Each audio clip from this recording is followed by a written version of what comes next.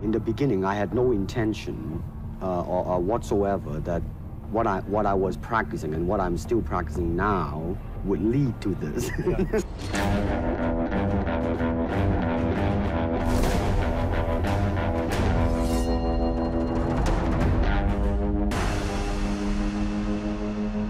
My father was born in 1940, in the year of the dragon and in the hour of the dragon. So he was a dragon through and through.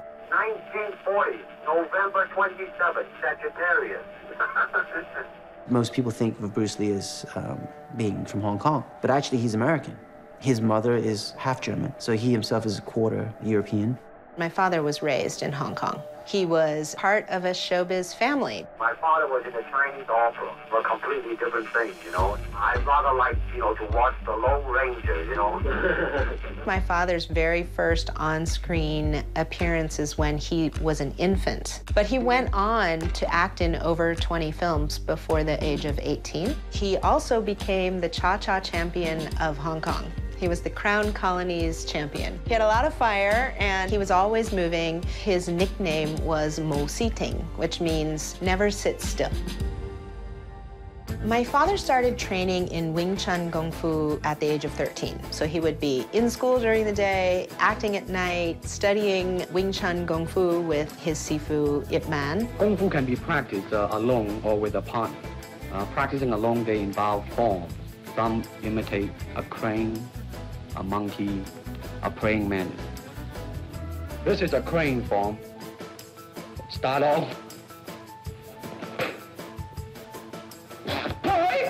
He would walk down the street with weights in his hand and punching the air and just always trying to figure out how to do things better, how to be faster. And he got really good really quickly to the dismay of a lot of the senior members in the school. When I first learned martial art, I too have challenged many established instructors. But what I have learned is that challenging means one thing, is that what is your reaction to it? At the time, it was really against tradition to teach Chinese Kung Fu to anybody who was not Chinese. He was actually kicked out of Ip Man's school at one point because they found out that he wasn't 100% Chinese.